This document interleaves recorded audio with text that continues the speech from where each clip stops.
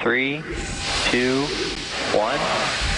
Engines full power and liftoff of Crew 6. Go Dragon, go Second time's a charm. While you were sleeping, SpaceX and NASA successfully launched the Dragon capsule from Cape Canaveral in Florida. Should arrive at the International Space Station sometime tomorrow. The four-man crew on board is made up of two NASA astronauts, a Russian cosmonaut, and the only the second person from the United Arab Emirates to fly to space. They will replace a crew that's been there since October.